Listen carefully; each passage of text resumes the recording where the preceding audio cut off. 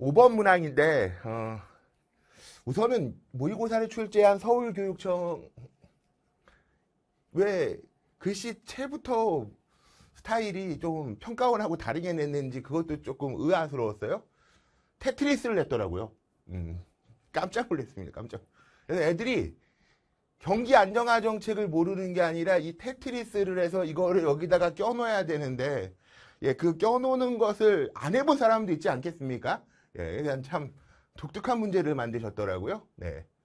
그러니까 문제 자체는 뭐냐면은 이 블록이 내려와서 테트리스가 뭔지 아- 모르는 정도로 오락 안 한 애들도 있단 말이야. 음. 이- 이렇게 되면은 안 없어져요. 안 없어지고. 이거 요, 요거잖아. 얘- 얘가 이렇게 돌려져 갖고 이렇게 되면은 이 두 개가 다 없어진다고. 네, 이런 설명을 하게 될 줄 몰랐습니다. 그래서 이 점을 획득하려면 어떻게 돼야 되냐면 이 별표를 기준으로 한 칸, 두 칸 우선 오른쪽을 가야 돼요. 그리고 얘가 어떻게 되면 돌아야지. 몇 도? 90도 돌아야 되거든요. 그래서 90도를 회전하고 오른쪽으로 한 칸, 또 오른쪽으로 한 칸 가면은 얘 가장 높은 점수 2점이 나올 텐데요. 긴축과 재정과 통화, 확대와 재정과 통화 각각의 점수 방향이 달라 아, 방향이 달라서 한번 보시겠습니다. 금리는 통화 정책이죠. 그러면 통이라고 쓸게요. 이 금리를 높이는 건 긴축이에요. 음. 그리고 여기네. 긴축, 긴축, 통화 여기. 그래서 여기가 A. B는 소득세율 인상인데 이거 재정 정책입니다. 세금 높이면은 긴축되겠죠. 그러면 재정 정책의 긴축은 여기네요. B. 국공채를 매입하고 매각하는 건 중앙은행입니다. 통화 정책이 되겠고요.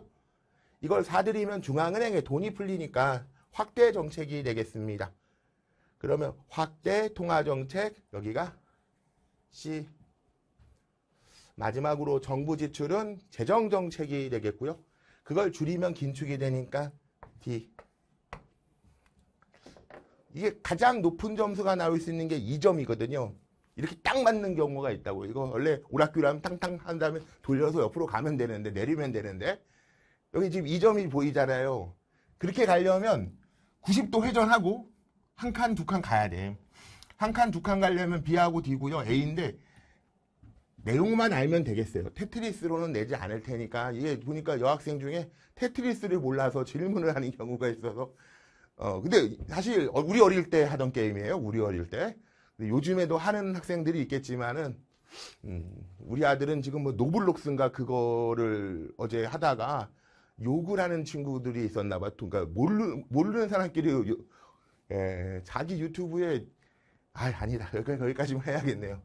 아 요즘에 인터넷으로 게임하니까 어, 더 문제가 많아지는 것 같네요. 음, 재밌는 문제를 냈습니다. 자, 그 다음 7번입니다.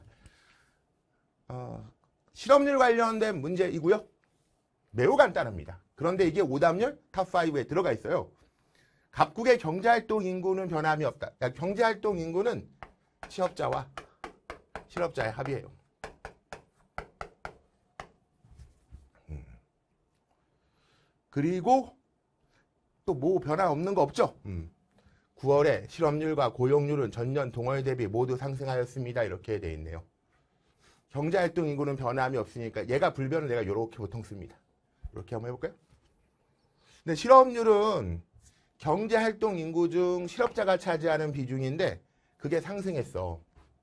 경제활동 인구가 있고 실업자가 차지하는 비중 곱하기 100 해야 되는데 어차피 방향만 본다면 100 안 쓸게요. 어, 얘가 일정한데 이 전체 값이 어떻게 됐다는 거냐면 올라갔대요. 그럼 얘가 늘어야 된다고. 분모가 그대로니까 분자가 늘어야겠지. 그럼 얘는 커진 거야. 근데 이 합이 그대로여야 돼. 그러면 취업자는 줄은 거예요. 음. 그래서 취업자 수는 감소하였어요. 됐죠? 제가 뭐를 활용해서 지금 주어진 정보를 통해서 요걸 또 활용해서 또 다른 정보도 보겠습니다. 고용률은 어떻게 구해요?